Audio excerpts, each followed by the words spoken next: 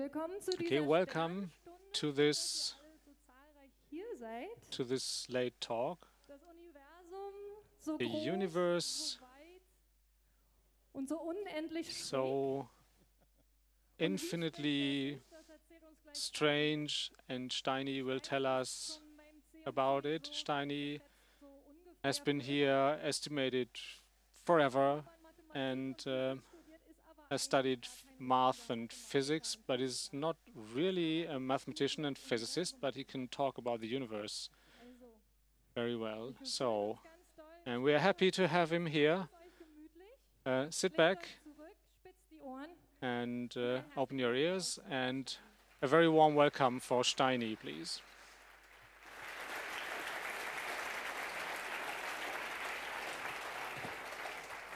Yeah, well, yeah. Hello. Hello. Thank you. Lots of people. I'm impressed. I thought it would only be 20 or 30. Okay. So the universe, quantum physics, and I want to take you along on a journey uh, first into the past, maybe into the past of science, the history of science, of physics. Because if you if you try, I think if you try to tell laypersons and absolute beginners talk to them about quantum physics, then uh, we need a bit some some foundation and we need to know how science works. A uh, long time ago, Aristotle and physics at the time and science philosophy was mostly the same. The universe contained of uh, fire, water, earth, and and and uh, fire, water, earth, and water, water. Yeah, and and wondered about what is light, light, and we talk about quantums. Then we talk about light quantums, and light is very elementary in this. The old Greek thought the light came out of the eye, so we talk about the light of the eye, and so the eyes light up the world, and so people can see, and so it's infinitely fast. So if you if you close your eyes and open them again, everything is visible again. So no time is passing. So light is infinitely fast. Okay. And quite a long time, this uh, prevailed. This view prevailed, but there were critics, but they couldn't. But they couldn't. Uh, well, there was no really a scientific method for verifiable theories and things like that. And there were, and in medieval times, it wasn't a lot better. Better, the church uh, tried to prevent things that could have opened the eyes of people. So now we are around 1672. Ole Römer, Ole, a Danish astronomer, tried to. He was Galileo had a had a telescope, had built telescopes and had a big was a dealer in telescopes and Ole Römer tried to to solve the problem of time. And how can you measure time precisely if you're not not a clock not a very very precise clock? So and he wasn't the first to do that. And what he did was um, look at the planets. And at a time where people knew or should have known although some people denied it that the Earth is a sphere and circles around the, the Sun, and there are other planets also circling there. And he looked at Jupiter, looked at Jupiter's moons, how Jupiter's moons look circled around Jupiter, and it's a very precise clock. And if you could understand exactly how that works, you had very uh, very precise clocks, and you could you could know where you are on Earth if you have a very precise clocks. And he made a table and wrote down when these moons uh, disappeared behind Jupiter and and in this table many moons for many moons he made these tables and depending on the season on earth the those figures differ. And he thought about it and and found that it was there was a rhythmic difference and it was in summer it was different from winter or spring or summer but the next summer it was the same as the summer before so it has to be has to do something with the earth circling around the sun and then found out that this couldn't be possible that light was infinitely fast and he couldn't explain it differently except by a finite speed of light. And So if, if we were longer away, far, farther away from Jupiter, the light takes longer. And when we're closer to, Jupiter, the light doesn't take as long. And, and in science, it's very important he made a prediction for a specific date at which time the moon would disappear behind Jupiter.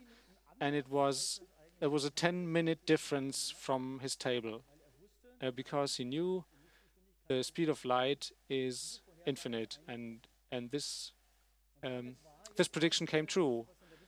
And there was something that was very valuable in science because the theory that he had was not very bad. So he did something very well. He showed that the speed of light is finite. And there's something about light with quantums. And why do I talk about this? Because science uh, works very well if you can observe something and from this observation, you can make a hypothesis.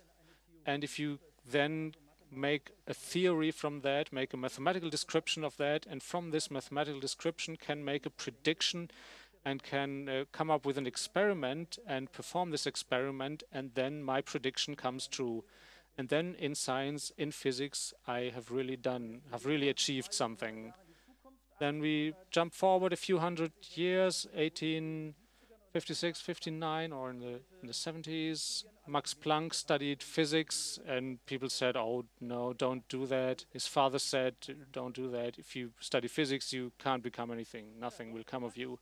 But he still did, and some things were still strange, and he looked at, into that, and he wasn't the first, and he found that strange, and he looked at black body radiation and how do black bodies radiate? How do they emit light? When they get hot, they're black because they are they don't they don't reflect light, and whatever they light comes from them is their own radiation, and it's quite difficult. 1895 to make a black make a black body is very hard. He made a box and made a, made a hole in it, and so it's so it's black and looked at the color of the hole if he heated up this box, and he looked how the color of this light um, agreed with classical physics of the time, and what there were what was a was called a measuring error was was wasn't right, and the prediction was very strange because the prediction said the more energy I put into it, uh, the shorter the wavelength becomes from the light, and that some at some time would need to lead to it becoming yellow and blue and ultraviolet, and the box would disappear then at some time. But the box doesn't disappear. Well, this is this was called then the ultraviolet catastrophe, and this mathematical theory behind this this physics people had thought of uh, wasn't right. And then he looked into it and he researched it and thought it was uh, worthwhile but shit, it doesn't really work. And he called it the act of ultimate desperation. And he introduced a constant, just out of thin air, not quite out of thin air. We don't talk about the details, otherwise, we wouldn't finish today. He introduced a constant and called it H, the active quantum. And he that led to the energy not being uh, transmitted continuously, but in packets and this uh, packet-wise transfer of energy, so not continuously increasing, but in, in, in different packets in this equation led to, led to the equation making very good predictions and predicting something uh, that could actually be measured. And uh, many years he worried about that. He was angry about that because he really wanted to to save the old physics that he liked, and this was just uh, an emergency. In, in desperation, he invented this quantum, and into the 1920s he tried to get rid of it because who he who he uh, found that it actually made sense uh, was Albert Einstein, and 19 1904 or 1905, he thought, damned, Max Planck is right. And it isn't just, it's, it's really all energy is, is quantized and only comes around in, in, in little packets. There's no half light packet. There's not three quarters or two one seventh light packets.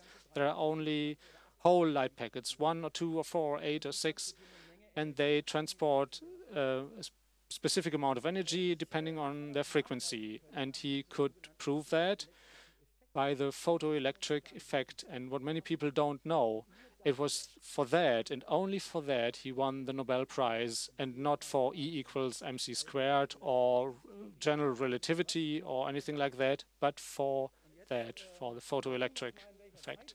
And now let's think at what time we were, 1905. The existence of the atom was a hypothesis. It was the ato atomic hypothesis, and it wasn't quite clear. And you have to imagine the, the leap of, of faith where the universe was just a single galaxy. Everything you could see was just one galaxy, and one people thought there was nothing outside the galaxy. And atoms, well, yeah, hmm, was just, uh, well, we can talk about that, but. And he only received the Nobel Prize in the 1920s when it became clear that he was damn right. Right, so we have Albert Einstein, and together with these thoughts of Planck, he um, discovered quantum physics and developed quantum mechanics. There were other people who added themselves to this roster. Well, uh, Einstein was sitting in a car with a young phys physicist called Werner Heisenberg, who told him about his uncertainty relationship, when suddenly Einstein became an old classic physicist and said, "Well, that's that's completely random. That's that's that's crap. It's obvious. Everything is clear. It's not one or the other. What does it mean, uncertainty principle?" Well, Heisenberg had the following thought: "Well, I can't. Given a certain quantum, he developed the maths around it using ma matrix mechanics, which work quite well, but which worked quite well, but everyone thought it was crap." Well, Einstein also didn't think it was that awesome, but, but it predicted the following.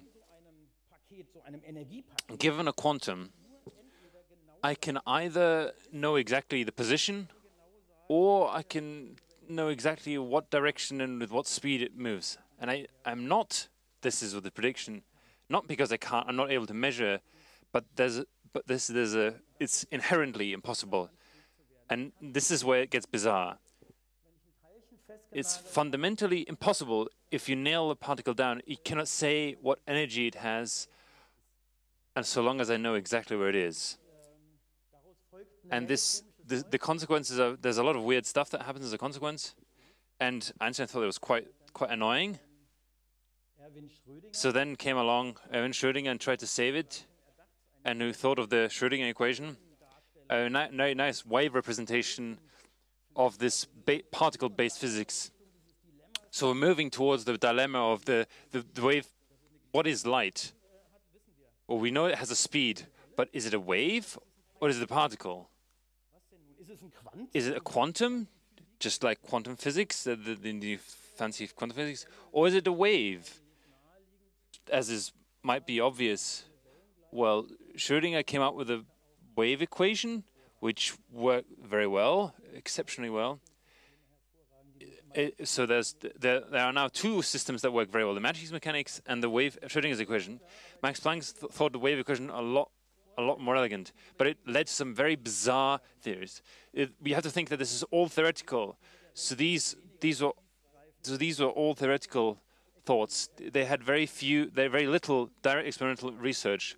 They just tried to um, well to try to just to do the thought experiments and you can only do this if you understand it and try and write it down in a mathematical form. The whole, the whole, the, the science is pointless if you don't have a working mathematical model. So now we have the following phenomenon. Right, we need to find out, is it a wave, is it a particle? So someone someone suggested, you've all, you, you've all heard, heard this, the two-slit experiment. It works as follows. I shoot some light through two slits, which are very close to each other, hoping that, so, well, okay, lights the waves, it meets this, this slit, and behind the slit, it it uh, propagates like uh, like a wave, and because I have two slits, and because the two waves, uh, uh, let's just like imagine putting through stones in, and they interfere coherently or incoherently. And then I have a, have a screen so I can see an interference pattern, which is a funny, funny, funny pattern, just like if you imagine having a wave hitting a you know, hitting a wall and leaving some color traces. All right, said as they said, they did it, and all right, there we, there we go. Well, there was still the quantum physics in the room. Well, light is a particle, so you can think of the interesting interesting experiment which you, they couldn't actually think of at the time. All right, let's try. Which of the slits did it actually use?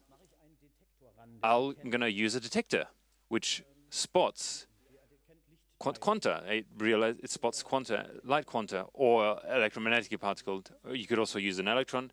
And as soon as I look, it stops doing it. As soon as I look, which of the slits does the light go through? It no longer behaves as a wave. And um, that's pretty weird, isn't it? Well, how does the light know that I'm looking? That's even weirder. So, so I have to. We could talk about this for hours. How you determine this? You have to believe a few things.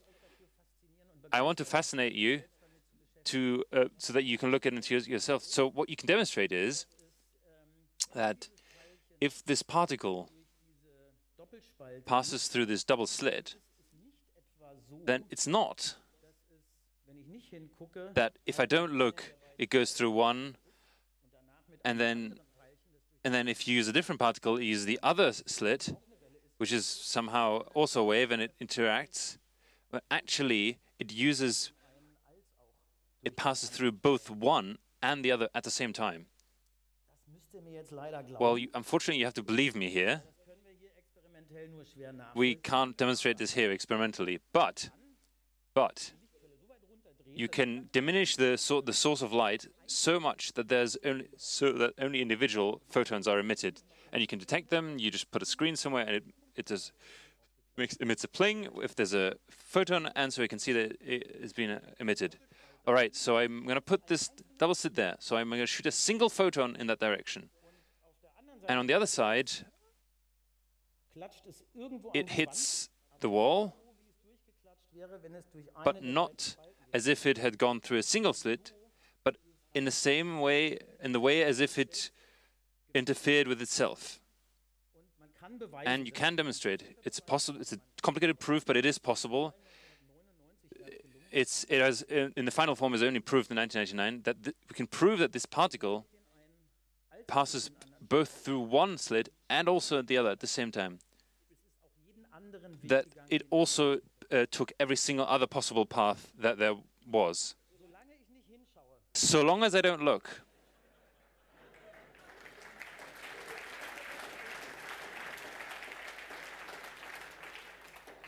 Right. And it gets worse.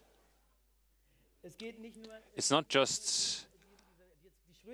So, all right, so we have to go back a bit. So the Schrödinger equation says predicts, and this is where Albert Einstein and Niels Bohr also. So Niels Bohr is a famous person uh, based on the the Bohr atom of the model. If you if you learn that that uh, electrons are orbiting in the core, it's complete. It's a complete nonsense. There's makes absolutely no sense. Um, I I got very annoyed by this in the school because the teacher couldn't explain. So the, the core is positive. The electrons are negative. They're orbiting. There are several electrons that are orbiting they, are negative, so they, they, repel. How could they possibly orbit uh, around the around the core in several shells? How's that? How is that? How is that possible? It's it's not possible. That's only for demonstration purposes. This is the problem with quantum physics. You can't. It's not very. Uh, you can't really look at it, and not at all. It doesn't. It doesn't. Uh, doesn't mesh with our practical sense of how the world works. So as as promised, it's going to get more bizarre. So I can do a experiment that which is suggested by the Schrödinger equation. It, it predicts if you can interfere, if you can uh, interact with two, two, particles together, so that they behave just like a single particle. And it, the equation says it doesn't say where the particle is. It says there's only probabilities. It only says there's a certain probability that the particle will be here or there if you look. That's the important point. Only if I check, if I observe. If I don't observe, it's everywhere at the same time, but with a higher probability over here.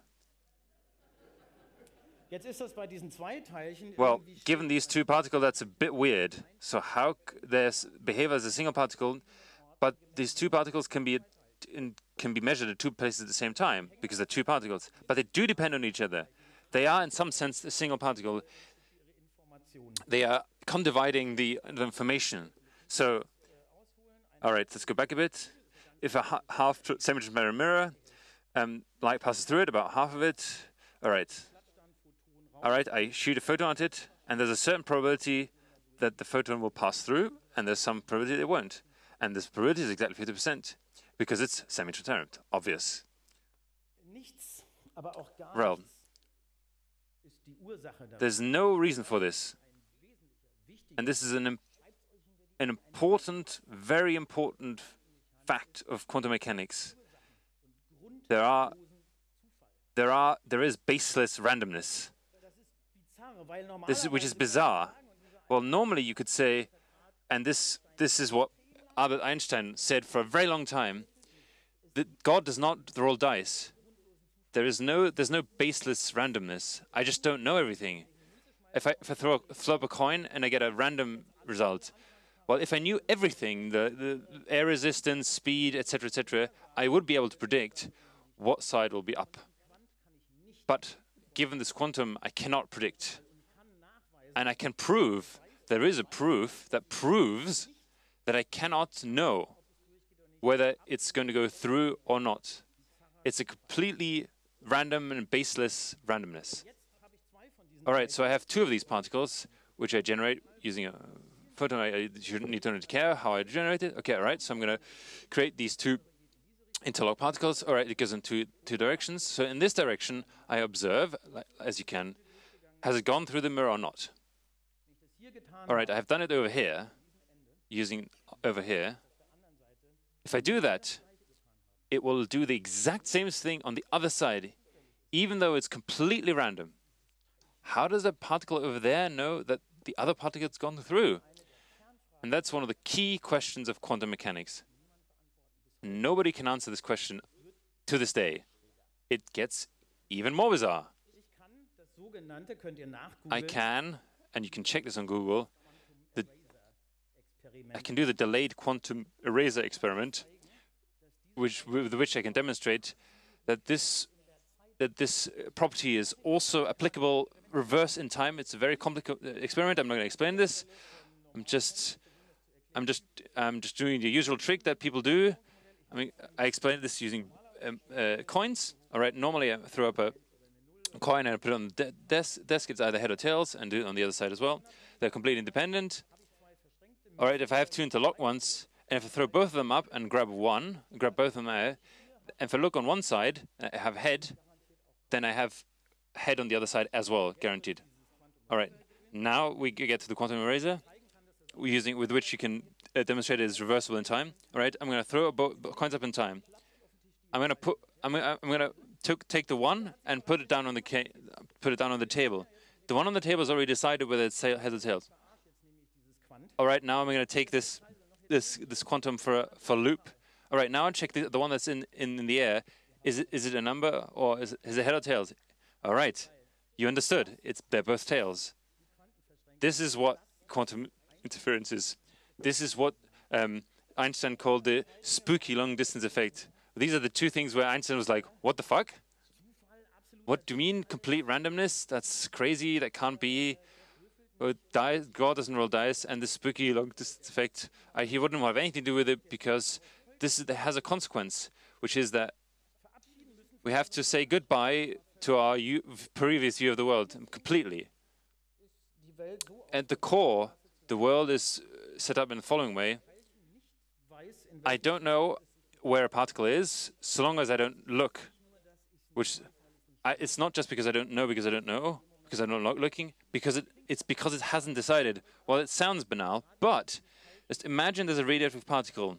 This radioactive particle is going through space, and now it's simultaneously at, in the state it's already decayed. It's already a different particle, So no longer uranium, but whatever. Uh, no idea. I'm not. I'm not an atomic a nuclear physicist. Maybe some electron, an alpha particle. What? Anyway, it's both uranium atom, but at the same time something else. So long as no one's looking, so the, this particle's coming towards me. So long as I haven't looked at the particle, as I haven't observed it, I can't tell.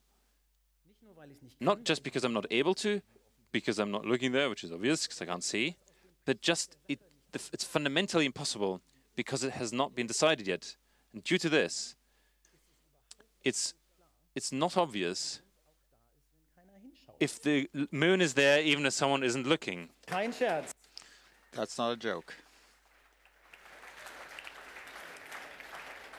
Oder die Frage, die damals zu Recht Or the question which was posed back then wouldn't somebody have to look at the moon all the time to make sure it's there? Now we get to the core of the matter and at the same time change the theme to cosmology, which is closely related. Jetzt kommen wir zu der Kernfrage, The core of the matter die so ein bisschen, also, hm, was genau ist eigentlich dieses Hinschauen? what exactly does it mean to look at something? What is the measurement? den Kollaps der Wellen, When does the collapse of the wave function happen? fällt diese, diese Wellenfunktion in sich zusammen? Und When does the wave function collapse? And th- that's the bizarre thing. This happens with super light speed. I in, in one instant, if you if you watch the if you the, the, the particle, and it goes through the mirror at the other end, at the same time, Das heißt, diese Informationen, die hier ja this information, which cannot be exchanged because we know since Einstein that it can't travel faster than light.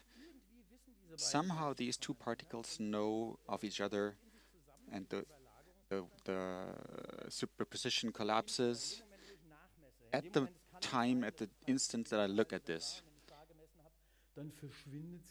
And so if I if I've seen it here, it, it goes away over there, and if I didn't, then it does appear there. But before I did it, it was at both places at the same time. As long as nobody's looking, it can be anywhere at all. We don't know. It's not just that we don't know; it is everywhere at the same time. mit einer gewissen Wahrscheinlichkeit, wenn ich It only appears at one place if I look with a certain possibility, probability. And the tunnel effect, which you may have heard of, you know, if quants tunnel through an isolator, um, there's a certain probability that they arrive at the other side because the wave function sort of smears through the isolator. And that is the, uh, the basis of quantum physics. I can measure these effects. I can check this. You can check with Google. Uh, take a look at the Bell equation. I can prove that the information isn't there from the beginning. Like it was already clear when these photons were born. No, it's random. It is decided the moment that I look at the photons. Genau ist And the heart of the matter is what does it mean to take a measurement? zeigt es an. Und damit ist klar, was passiert ist, oder ist eine Messung erst, weil das Messgerät selber könnte ja in Is it einem Überlagungszustand that- zwischen gemessen und nicht gemessen sein. Um, is, is it a measurement that takes uh, a uh, So this is a question we don't really know what the measurement is and, and how it how it influences it, and we really don't know, and that's what makes quantum physics so fascinating. It is absolutely not clear if it is necessary that there is awareness to to uh, loo- looking at the measurement, and and nobody really knows, without any doubt. So there's a reason to believe that it can be done without awareness, but there is no proof, and, and this is just they're just guesses and some equations that to uh, lead us in that direction, but we don't really know that. But uh, Erwin Schrödinger uh, said that the total amount of awareness in the universe is exactly one. And maybe he was talking about himself, so because he cannot say anything about anything else. Well, so let's get to the other part of this talk, and that is cosmology. So, what does this have to do with cosmology? Das hat das damit and it has to do with it that oh well we we have to we have to go back a bit go back a bit further in the 1920s 1925 around there edwin hubble had a huge telescope and looking into the world and found out uh, maybe it was a bit earlier and he found that whoa there are more than one galaxy and because he could see others with a good telescope and he could something else which which really destroyed the old image of the world that there was only one galaxy. He could see more galaxies, but he could see something more uh, by by looking at exploding supernovae, 1A type supernovae. They make a very specific, very specific uh, image, very very bright in a very typical profile. They have a this eruption of brightness. It is as bright as the center of a galaxy. It is bri as bright as as billions of suns and this is the type 1a supernova and one can use that to look to say um, how how bright is it really and look at how fast is it moving. This is a redshift. It is not doppler. It is it is a relativistic effect but uh, we can see look at the supernova and then see how fast the galaxy is moving away from us. And he found that all of them are moving away from us, and that is strange, and it's really um, strange because it, it shows that that earlier they were closer together, and even earlier they were closer together, and you can calculate back, and and uh, current calculations um, have found out that that a long time ago, um, I wrote it in the introduction, there were it, they were at a single point. It's such a bizarre thing as a point of a of a size of the quantum length. It is 10 to the power of minus 34, 35. It is the smallest length that we can talk about in physics, really. For everything smaller, uh, particles would become black holes so that would be smaller at all smaller scales. So we cannot really apply our physics on these small scales.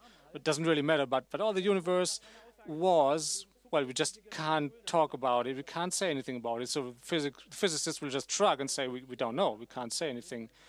Physical physicists never say never say why, but he says how and and, and works. And that's the the philosophers then say why it works, and the physicists just say, well, just calculate it. And Einstein said it, it has to be real. And uh, that's really the problem. We have to go back to quantum physics. And we need to um, use one of both concepts. Do, do uh, things have one definite position? In that case, uh, we have to uh, accept that they don't have impulse. Or do they not have position? Then so somehow this this this concept of of time and space is uh, strange. It doesn't work. This concept seems illusion. It it it, it isn't. It's not really in these dimensions. It's not then somehow not really real. And we're going back to cosmology, and we look back to the beginning of the universe and all the universe, and we get a better understanding of this if we find that particles consist of protons, neutrons, and electrons, and protons and neutrons consist of quarks, and as far as we know, quarks have no size. Shit. So, and then there's the string theorist. Well, yeah, but but they have, but very very small. It's just a string, but doesn't really isn't really interesting uh, according to the what I call the classical quantum mechanics. After after what we know today, the not string theory quarks do not have any size. They they're simply energy, and so whatever everything you consist of is pure energy. They're standing waves and and wobbling around, but really don't have any size. Though they're vibrating energy, but no size. Uh, a proton a proton has a mass and you can measure that. It's it's quite complicated but you can read about it how how that is done. And you find that three quarks have an energy and somehow some sort of mass and a, a resting mass. And, and it's it doesn't equate to the mass of the proton. The three quarks they they only make up 3% of the mass of the proton. And the rest of the mass comes from the energy of wobbling back and forth and and the quantum fluctuations. What is quantum fluctuation? It's a very bizarre construct of the Heisenberg uncertainty principle. If only it goes fast enough below the Planck time is the time that light needs to pass a Planck length, 10 to the minus 34th. It's very, very short, but below this time, the physics doesn't work, and you can violate the physics, and you can violate the law of conservation of energy and everything that is holy in physics. And uh, below Planck time, everything can happen spontaneous. As much energy can be created, always two, always, always, always two and a, part and its antipart. Uh, they just have to disappear fast enough. And then the physics isn't violated, then everything is zero in a sum total. So the theoretical physicist is happy and. Everything hunky dory, everything clean. Now, if this happens all the time, though, and it does happen all the time, then uh, energy uh, comes from nothing and it goes back to nothing. And this energy, this virtual energy, actually increases the mass or contributes to the mass of the proton. And let's imagine, you know, all matter that you know uh, consists of small parts of nothing really, or maybe strings if you believe in string theory. So now it's clear that all of matter isn't actually matter. It's really, like Einstein said, E equals mc squared, it's really energy. So all this is condensed in a very, very small room that you can't even imagine. It's it's like a billionth of a billionth of a billionth of a meter. All this energy fits in there because it consists of like nothing. And the idea, which hasn't been proven, but the idea of the origin of the universe is that all this energy, the entire universe could could be spawned from a, a quantum fluctuation. It's, it's, it's a bit hard to imagine that that this um, this room uh, expanded like an explosion so quickly, and this is actually doesn't fit with relativity theory. It it expanded faster than light. Well, it's really the space between particle that, that that grew so quickly that they they uh, got distant but quicker than light. That's the cosmic inflation, which you may have heard of. So, uh, just recently, somebody said uh, we found cosmic inflation. Um, looking at the background radiation, uh, you can go look back in time. The universe is 13.8 billions of years old.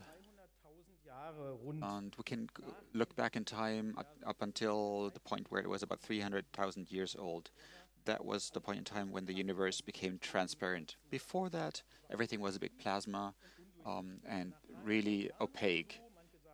Um, you know, whether it's 100,000 or 300,000 years, nobody knows quite for sure. But that's when it became transparent, and we now see the background radiation. These are areas of variations uh, in, in, in temperature of the background. These variations of brightness that we see is the reason for planets, stars, galaxies forming. Otherwise, everything would have been the same and homogeneous everywhere. But if today's physics is right, then the quantum fluctuation of space at the very beginning of the universe is what what makes stars and planets today.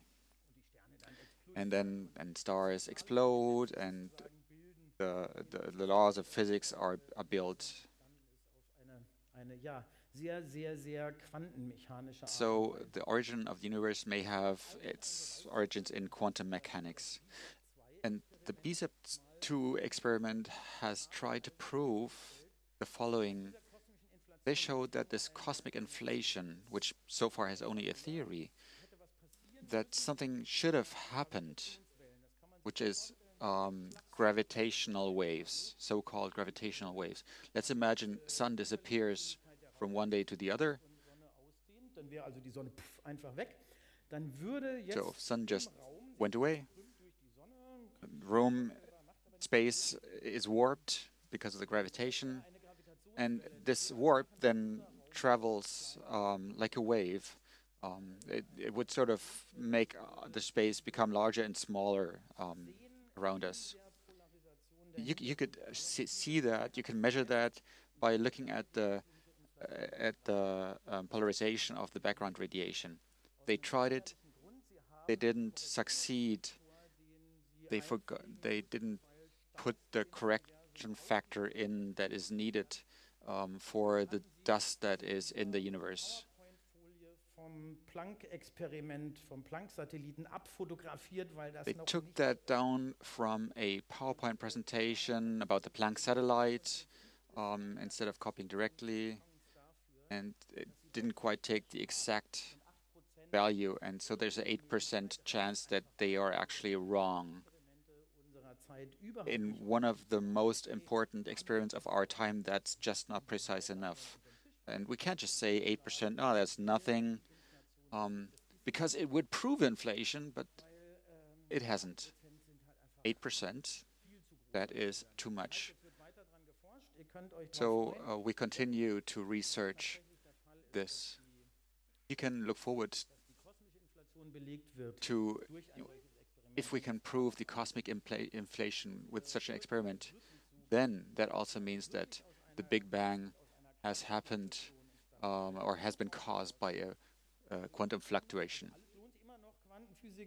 So it's it's still it still makes sense to you know become quantum physicist or cosmologist um, because there's still the question what's outside either or what's inside the Planck length. There's so many different um, stories and themes that we can't even touch because uh, it would take too long. But if this experiment would would succeed, that would mean a the universe came about from a quantum fluctuation. B it is very probable that there are that there's more than one universe. There's many universe universes with many different types of physics. Um, I mean, what could be more bizarre than the fact that it's just us that is here?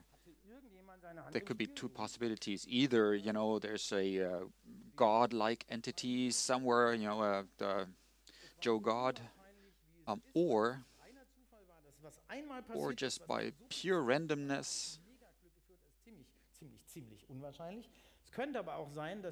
Maybe, maybe all of the time, permanently, new universes are spawned. passiert ist, dass man da sein kann. Yeah, so there were so many universes on, only in only in the one in which we are, we are here. Otherwise, we wouldn't be seeing it if you were if it in a universe where we are not there.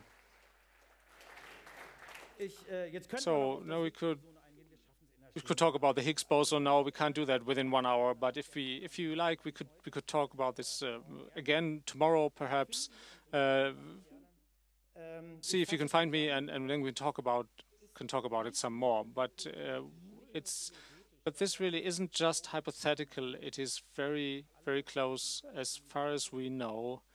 The universe somehow nobody knows why. There are new theories, superstrings and supersymmetry and M theory, and it's it's really fun to read and, and to look it up. It's really complicated. The universe somehow was very, very, very, very, very, very small, smaller than anything you can imagine. All energy, all matter, everything was in there, and then it it uh, expanded very fast. Uh, we still forgot about dark energy and dark matter, and because we can we can measure that, it's it's it's not just oh, we don't know. Let's just call it dark, but but it's really there. And spiral galaxy are turning much faster than they should.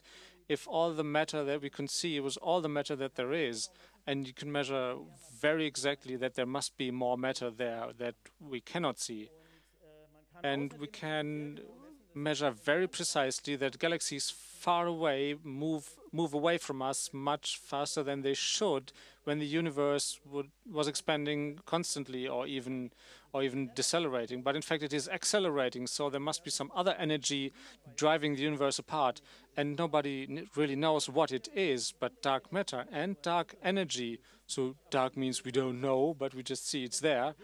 We can see its effects.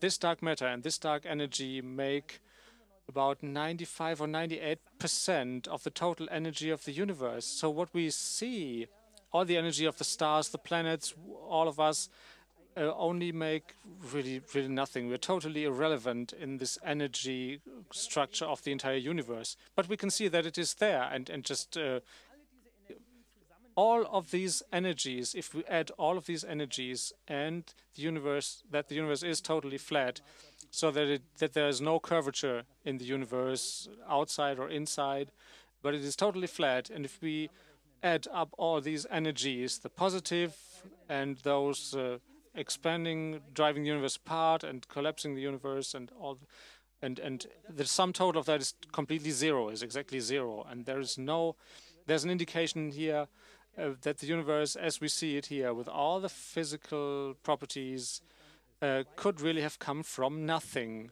because as far as we know, there's the uncertainty principle of Heisenberg, Heisenberg, and so there is there was the possibility that all of this, all this reality, one of this possible reality was there in which it could happen, and so at this point in time, there was no time, so there was no time limit for testing it. So back looking backwards, you could say it was this entire universe Uh, came from a gigantic superposition because it could, just just out of nothing, from absolute nothing, and there is no cause for that. And so I want to get to the end and allow some questions. I know it was a lot in a short time. I, I asked for three hours, but well.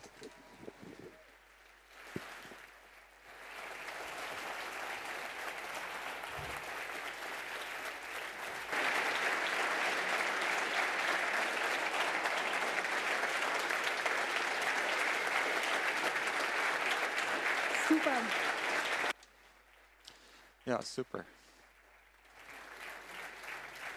Du hast jetzt so schnell geredet, sag mal, ich habe dir hier extra Wasser hingestellt. You talked so fast. I brought you some water. So, hat denn jemand Fragen? Are there any questions? An Dann bitte an einen von den vier Mikrofonen. Please move up to the microphones. Und die Leute, die jetzt gehen, bitte ganz leise durch die vordere Tür. Oh ja, fangen wir mal da drüben an, äh, auf der, das ist jetzt mein, unsere rechte Seite 1, bitte. Ja, hi. Erstmal danke für den I thank you much for the talk. Und, ähm, du hattest von den Quantenfluktuationen You spoke about quantum fluctuations, and it seemed a bit random, like any old quantum fluctuations could happen, Dinge da wahrscheinlich wäre. or anything could be would be probable. So I'd be interested in how far is it the actual measurement of the quantum fluctuation, which you may have happened, die sozusagen erst festgelegt hat, wirklich. in whether the measurement determines the quantum fluctuations.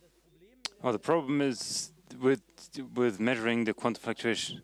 It's not easy to measure. There's an effect known predicted by a certain Casimir, which is that's why it's known as the Casimir effect, where we assume that if you put two very plain planes, metallic planes next to each other and bring them close to each other, then there will be a the quantum physics says that uh, particles can only be created in a space as as yeah only whole particles can be created. So between the particle plates could only only such particles can be generated that are completely or duplicate or three times or fit multiple times but not ones that fit half or two thirds of the time which means that between these plates only between these plates different particles than outside can be generated which is why therefore the two plates should be pressured toward each other because there, sh- there should be an interference between the outside and the inside and you can measure this force i'm not 100% sure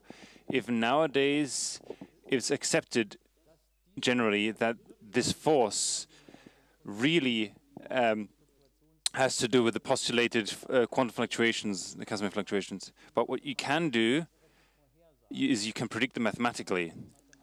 And mathematically, it is possible to predict, as far as I know, like I'm not a quantum physicist or cosmologist, but as far as I know, um, arbitrary particles could be generated or destroyed. This is also a, cause of one of these Hawking radiation. So if one, one, one of these particles generated at the limit of the event horizon and is go and one and bit goes into the event horizon, into the black hole and the other bit goes outside, which leads to the fact that, that there's a particle inside the black hole and that the hole is outside. So which leads to the fact that all black holes will will need to will disappear eventually if they don't get new food. Well, to answer your question, so long as you don't look, will these particles will be are both in the state of having been created and not having been created, which you call it something like the zero point energy, which which which all these physicists try to use very um, you know very faithfully try to use, which they they keep using, but it doesn't really work with some foils of aluminium. Uh, no, it doesn't really work. Mm. Well, I think these this fluctuation can take any possible state that is possible, so long as you're not observing. Okay, danke schön. Äh, wir nehmen, wir gehen einfach mal der Reihe durch. Auf der rechten Seite Mikrofon 2, bitte. Ähm, funktioniert das? Ja. Ah. Ähm, ich hatte eine Frage und zwar habe ich mal gehört, dass es My so question ist, is, I've heard once den Ort bestimmen that you can either determine the position or you can determine the speed, and that the other one is uh, unsharp. Männchen in Grün, also den Polizisten erzählen könnten, So in theory, you could you could tell the police that um, you wouldn't know I've I've been here because if Well. you measure my speed so quickly, then how do you know I'm there? Well, in principle, that is correct. If you were a photon, that would be exactly correct. But due to the, that's why this is an unresolved question: is are these quantum effects apply to everything? So the bigger you are, the more energy would be needed to measure it. At some point, at some point, trying to measure it, you generate more particles, which is also a bit of the problem that the LHC has, the Large Hadron Collider. So you can't separate two quarks because this costs so much energy. So more you separate them, the larger the energy the holding them together becomes. At some point, you have to employ so much energy to, to separate them that you generate a new qu- quant, uh, quark. So immediately you, they're together again. So you can't separate them, which is that's kind of the same thing with that thought you just had.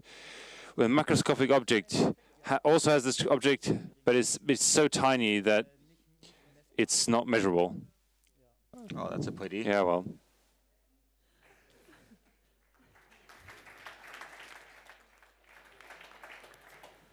Und dann eine Frage vom Internet, bitte.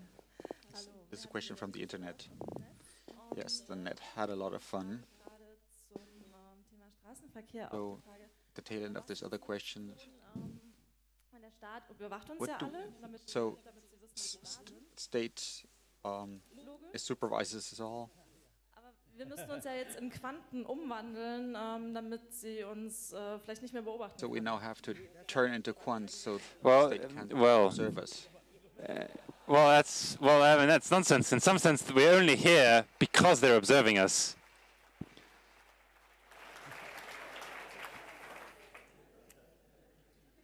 War noch eine echte Frage? Uh, can we have a real question? Well, that's completely legitimate. Genau, zum Thema äh, holographisches äh, So on holographic universe and simulation thereof, how can we tell whether we're in a simulation or not? That's a tough question.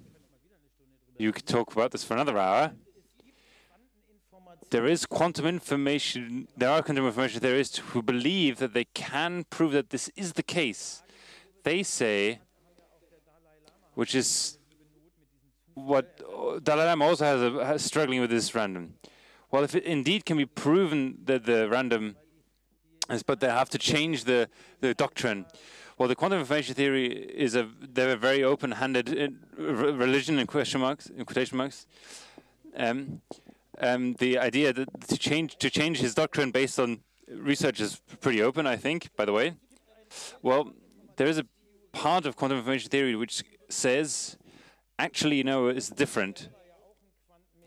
Well, you yourself are also quantum mechanical states. So the quantum that arrive are somehow interfere with the ones in one the electrons in our eye, which once again is an infinite chain of interference up into our brain.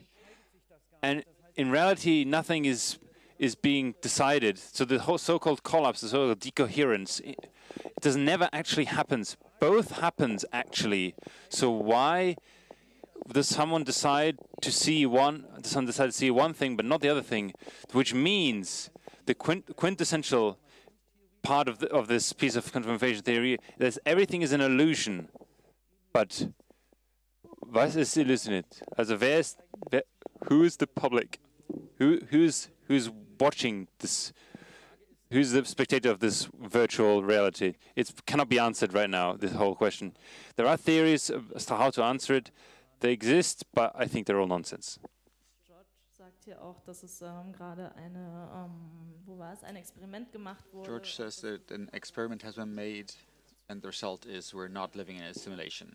ähm, Very clear. This is about hologram. Well, the holographic universe is um, talking about is a different thing. Is one thing is simulation. The other thing is the holographic museum. It's quite uh, universe is quite slightly different. It's slightly confused. It got slightly confused. There is um, well, a thing I, I I don't quite understand, so I don't quite dare talk about it. But people do claim to prove that we are not living in a holographic universe. Aus dem Publikum hier und zwar auf der linken Seite, Mikrofon 2. Okay, ähm, äh, also danke für den Vortrag. Thank you very Ähm, much for the talk. denke, Dass du auch zumindest teilweise ein bisschen angesprochen hast, dass es äh, durchaus, naja, teilweise ein bisschen schwierig zu verstehen It, as you said, it's uh, some some of these things are hard to understand, and they don't seem logic at all, like the quantum mechanics. The problem I have with the standard model of physics in general is it gets difficult when you look in general. If you look at redshift as a Doppler effect, uh, the redshift is a linear effect, um, linear in the rate of variation. But you can show that it's actually not a, a linear effect at all, but there's a periodicity of 34 kilom- kilometers. And um, you can show that the uh, Feinstoff-Konstante has been coded in there. There's, there's other things, like globular clusters. I'll, I'll show you afterwards. I'll, I'll show you the proof and the paper. People who uh, published this. You have to look in the details, and the details don't fit. They don't match. Den letzten Newsletter zum Beispiel. I can, I can. nicht theoretische, sondern wirklich Dinge, die man gemessen There's theoretical things that you that have been measured. Um, they've been referenced. The the paper has Can I can I can I just check? Have you derived the Schrödinger equation?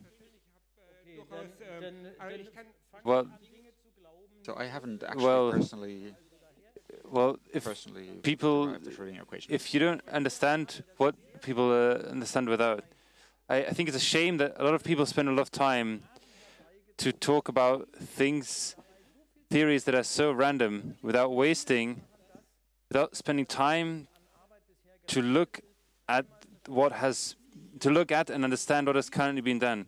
yes. It's not that physics suddenly new. Well, people always say f- quantum physics has proven that everything could be different. It's not quite the same. Also, the relativity, pure relativity doesn't also doesn't do that. They're always just more refinements of the existing problems, and they also they solve problems with the existing. Just the thing I want to say, the redshift is not a Doppler effect. Doppler effect. der Galaxien, äh, die wird als It, but it's it's the galaxies. Thank you. Thank you. Ihr könnt das ja auch noch auf dem Kongress noch weiter you can discuss this afterwards in the Congress um, for hours starting tomorrow. Hier und zwar auf der rechten Seite, Mikrofon 1 bitte. Ähm, wie wahrscheinlich oder was hältst du von der What do you think about the theory of supersymmetry? Well, supersymmetry is a very interesting topic. I don't quite get along with the string theory. It's very random, I thought. I, I do see, see its attraction. There are some pretty cool, there's, a, there's some weird mathematical hacks which I don't quite like, amongst other things. Just, just to just mention a few random ones. String theory works because in a certain type of mathematics, the sum of all natural numbers bet- between one and uh, from one to infinity is minus a twelfth. You can derive it. It's a, just a bit fishy as far as I think. It ex- it explains a few things very well, but to this date, there is no not a single piece of evidence if it, it would work more elegantly mathematically if every particle had um, had a symmetrical particle. So, so for every fermion, a gluon, a fermion, and for every gluon, a gluon. Um, um, so if there was a mirror symmetry between between that, that everything would work a lot better. Okay, Entschuldigung, ich muss das unterbrechen. Wir haben leider keine Zeit I have to stop here. We're running out of time, and of course, we could talk about this for hours. Trefft euch am Please Morgen wieder und ein großes Meet tomorrow and uh, give a round of applause for Steini. Thank you very much.